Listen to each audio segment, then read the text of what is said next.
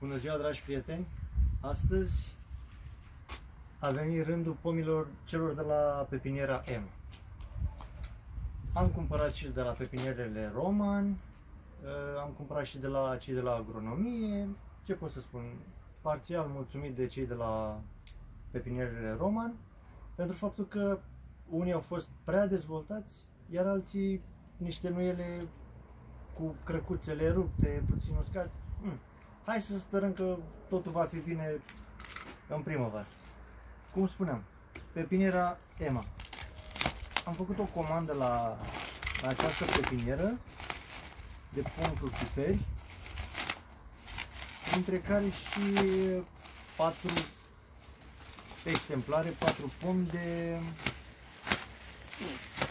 nași. Nași adică păr japonez. Să vedem ce o fi în pachet.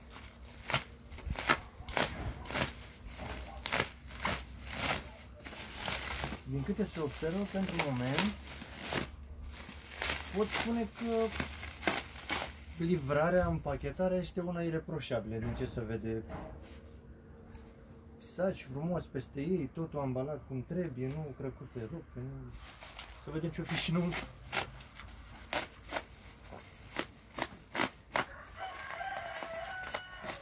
Dar din câte, din câte am observat,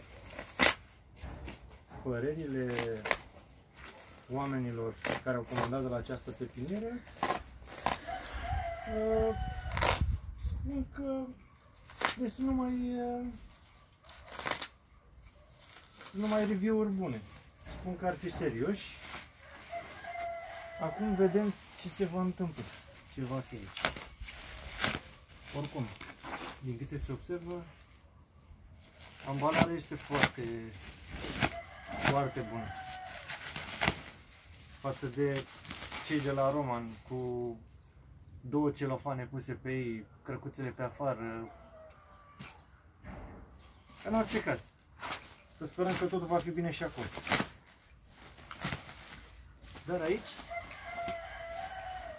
pare, pare foarte, foarte, foarte bine în bar. Pare o muncă bine făcut a celor de la această pepinieră.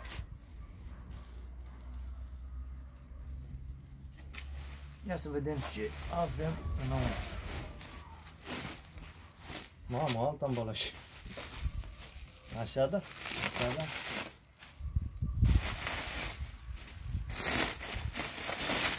Să vedem acum cum o fi rădăcinile, cum se răzbudurăți, răzbudurăți, să vedem și restul.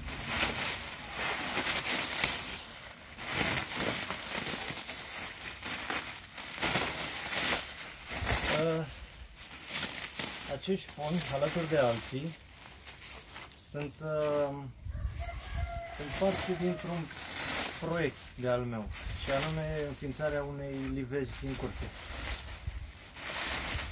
Momentan acolo există viță de vie, dar pe parcurs va fi înlocuită cu pomi normali, cât și exot, exotici, printre care curmali chinezești, um, ce mai am, uh, păr japonez, uh, kaki, am trei soiuri, Giro Rojo Brillante și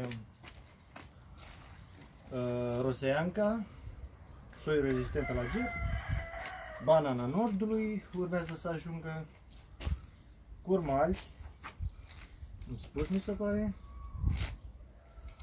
și mulți arbuști, numai unul și unul. Tot ce am găsit mai bun pe, pe la noi prin țară am adăugat la uh, la colecția mea. Ce pot să spun? Rădăcinile sunt foarte sunt foarte bine dezvoltate. Pomii se vede că au fost întreținuți, au fost oarecum mociliți cumva la, la plecare de la ei din pepinieră. Iar ca soiuri am luat păr Monica, Cais Carmela, care am înțeles că este soiul cel mai eh, rezistent, dar cel mai și cel mai productiv de la noi din țară. Uh, acum să vedem cum o fi cu gelurile, că am zis că perioada de înflorire ar fi între 15 martie și 7 aprilie. Acum, dacă o să nimerim o vreme mai capricioasă, vor fi probleme. Așa, ia să vedem și aici. Ăștia sunt puțin mai, uh, mai dezvoltați, dar și din pricina faptului că i-am plătit să fie așa, adică cu o coroană semiformată. Și aici sunt acei pări, peri nași de care vă peri japonezi de care vă vorbeam. Ia să vedem. Da, foarte, foarte La așa coroană nu mai bun de plantat. Nu mai bun de plantat. Ce să mai puțin, să mai intervenim prin șarpante pe aici, să așa, în rest. Ce pot să spun despre cei de la pepiniera Emma? Ambalajul este ireproșabil din câte am comandat până acum și ce am văzut la ceilalți. Prețurile sunt foarte bune, 15 lei pe pom, 20 de lei și să nu mai vorbim de acești peri, peri japonezi. Păi mă scuzați, așa dimensiune, că vorba aia, eu am 1,90, este cât mine. Nu parmuguri uscați, nu nimic. Rădăcina super dezvoltată și toate cele, să coste doar 15 lei, când uh, la alte pepiniere totul începe de la 45, 60, 65 de lei pentru un pom și la vargă, nici de cum cu corona semi-formată. O să mai intervin eu puțin pe aici, dar uh, totul pare în regulă. Ce pot să spun mai mult de atât?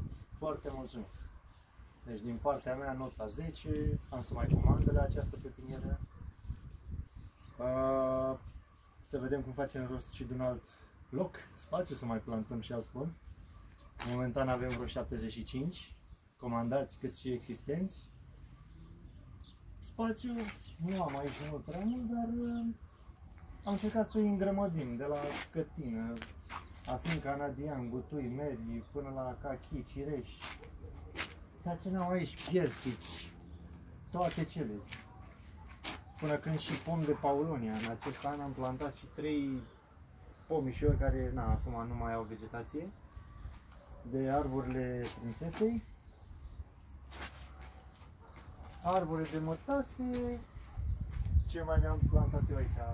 Am, dar sunt puțin mai bătrâni. Acestea au 15 ani. Smochin. Smochin care în fiecare an îi nivelim uh, ca să nu degere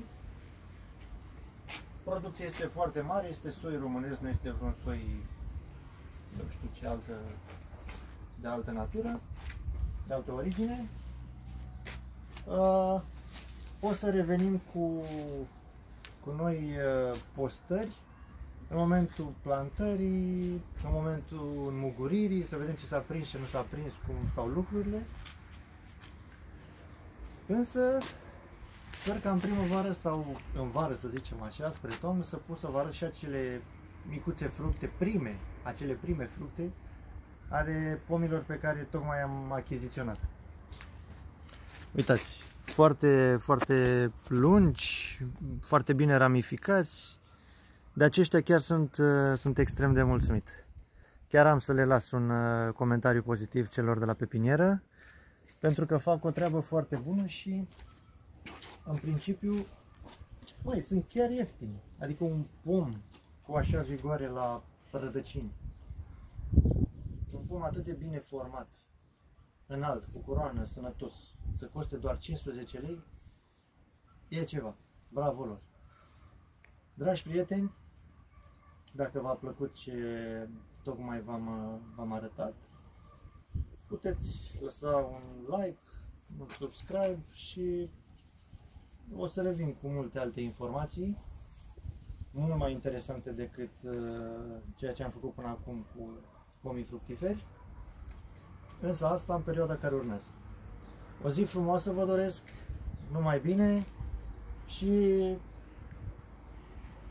începe și dumneavoastră exact cum am început și eu. Cu pomi, cu astea, faceți-vă colțul dumneavoastră de, de rai, de natură. O zi frumoasă vă doresc. Numai bine!